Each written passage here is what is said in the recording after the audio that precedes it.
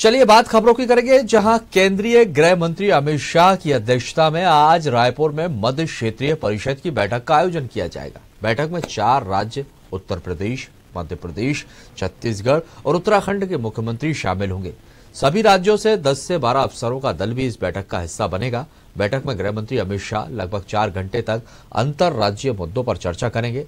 बैठक के एजेंडे में कुल 30 बिंदुओं को शामिल किया गया है, जिसके अलावा नक्सलवाद और आंतरिक सुरक्षा के साथ खाद्यान्न सुरक्षा, सड़क कनेक्टिविटी कृषि के क्षेत्र में राज्यों में समन्वय प्रमुख है। इसमें आदिवासी क्षेत्रों के विकास के लिए सड़क और मोबाइल कनेक्टिविटी का प्रस्ताव भी सौंपा जाएगा।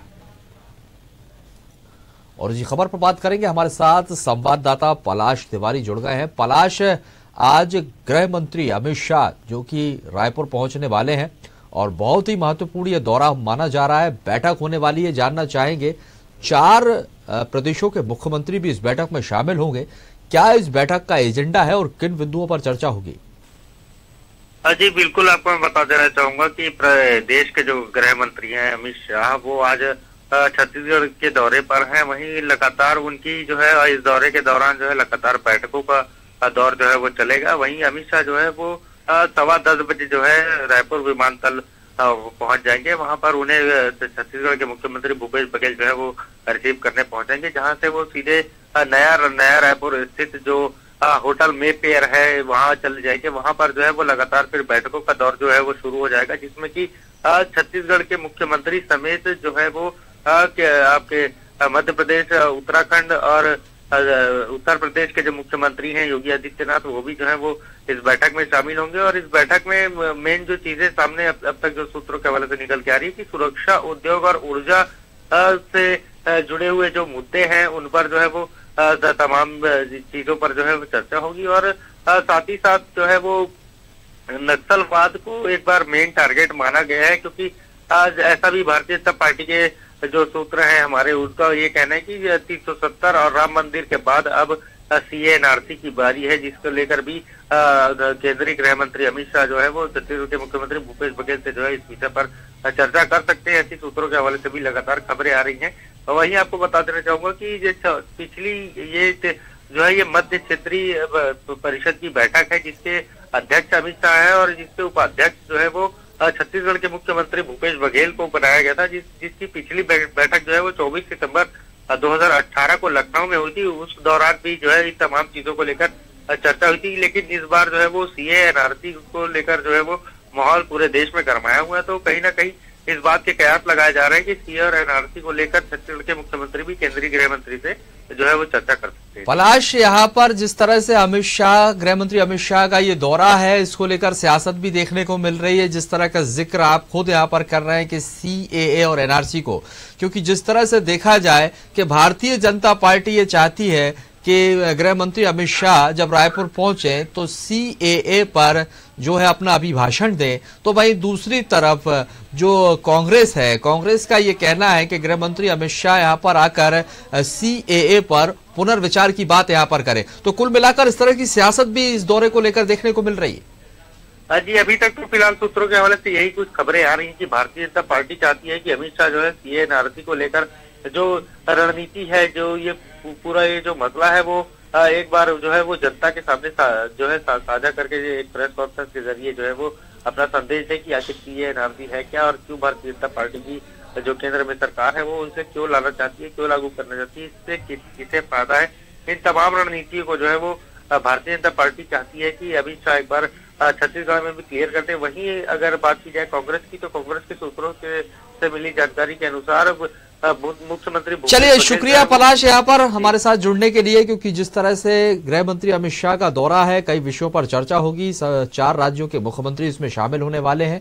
और यहाँ पर देखा जाए तो इस दौरे को लेकर सीए पर सियासत भी देखने को मिल रही है। शुक्रिया हमारे साथ जुड़ने के लिए और बातचीत के लिए।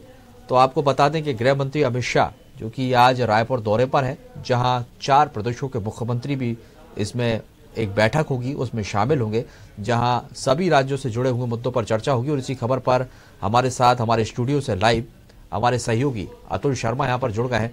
अतुल, आज रायपुर में गृह मंत्री अमित शाह का जिस तरह से दौरा है और मध्य प्रदेश के मुख्यमंत्री कमलनाथ भी वहाँ पर पहुँचने वाले हैं। बैठक होगी, चर्चा होगी। जानना चाहेंगे आपसे, इस बैठक में किन विषयों पर चर्चा होने वाली है, वो कौन कौन से बिंदु हैं? में सबसे महत्वपूर्ण समस्या है नक्सल। तो नक्सल को लेकर भी उसमें चर्चा की जा सकती है कि आखिर किस तरीके से नक्सल से निपटा जाए और क्या कुछ विषय रहेंगे इसके अंदर कि नक्सल नक्सलाइट जो एक काफ़ी अहम दिक्कत है छत्तीसगढ़ व मध्य प्रदेश साथ, जो है उत्तराखंड जैसे क्षेत्रों के लिए। उस पर चर्चा की जाएगी, साथ ही जिस तरीके से हमारे सहयोगी, छत्तीसगढ़ सहयोगी ने बताया कि एनआरसी और सीए को लेकर भी चर्चा की जा सकती है, क्योंकि जिस तरीके से राजेश देखने को मिल रहा है कि पूरा देश इस समय एनआरसी और सीए को लेके कहीं ना कहीं पक्ष और विपक्ष, यानी दो हिस्सों में बटा हुआ नज़र आ रहा है। वही अगर हम मध्य प्रदेश की बात करें, हम छत्तीसगढ़ की बात करें, हम राजस्थान की बात करें, जहाँ पे कांग्रेस शासित प्रदेश है, वहाँ पे साफ़ तौर पे कहना है कि हम एनआरसी और सीए लागू नहीं होने देंगे। उसको लेके भी आज जो है केंद्रीय गृह मंत्री जो है अमित शाह मुख्यमंत्री कमलनाथ से चर्चा कर सकते हैं और दोनों के बीच में काफ़ी इस चीज़ को लेकर मंथन के दौर जारी रह सकते हैं कि आखिर क्या मसौदा है और क्यों दोनों के बीच में केंद्र और मध्य प्रदेश के बीच में इस कानून को लेकर आखिर क्यों तकरार है, इसको लेके भी चर्चा की जा सकती है। और साथ तौर पे जिस तरीके से कनेक्टिविटीज की बात की जा रही है चारों राज्यों में सड़क की कनेक्टिविटी क्योंकि एक उद्योग की ज़रूरत है, और चारों राज्यों में जिस तरीके से आपसी एक उद्योग का उद्योग होता है, उसको लेके भी चर्चा की जाएगी कि आखिर सड़कों का निर्माण किस तरीके से किया जाए, किस तरीके से कनेक्टिविटी जो है उद्योग के लिए, सड़कों के लिए जोड़ी जाए, चारों राज्य एक दूसरे के व्यापार स्थिति किस तरीके से बनाई जाए, इसको लेके भी चर्चा की जा सकती है।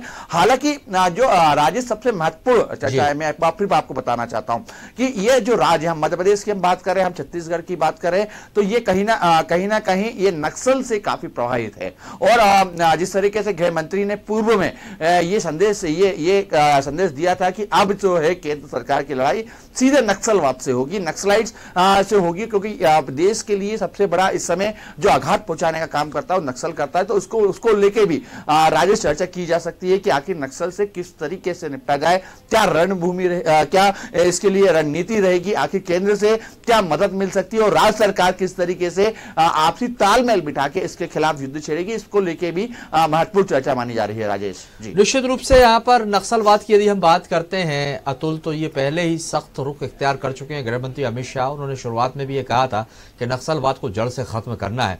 और ये वजह है और यहाँ पर ये मुद्दा जो है वो विशेष तौर पर यहाँ पर उठाया जा सकता है। और जिस तरह से आपने ज़िक्र किया, जो चारों राज्यों के मुख्यमंत्री इसमें शामिल हो रहे हैं, जो कनेक्टिविटी जो सड़क एक दूसरे राज्यों से जुड़ेगी उसको लेकर भी विशेष चर्चा यहाँ पर हो सकती है। तमाम ऐसे मुद्दे हैं जिन पर चर्चा होगी। चलिए, शुक्रिया अतुल हमारे साथ जुड़ने के लिए और बातचीत के लिए। तो आपको बता दें कि केंद्रीय गृह मंत्री अमित शाह की अध्यक्षता में आज रायपुर में मध्य क्षेत्रीय परिषद की बैठक का आयोजन किया जाएगा और बैठक में चार राज्य, उत्तर प्रदेश, मध्य प्रदेश, छत्तीसगढ़ और उत्तराखंड के मुख्यमंत्री शामिल होंगे। सभी राज्यों से दस से बारह अफसरों का दल भी इस बैठक का हिस्सा बनेगा और बैठक में गृहमंत्री अमित शाह लगभग चार घंटे तक अंतर्राज्यीय मुद्दों पर चर्चा करेंगे।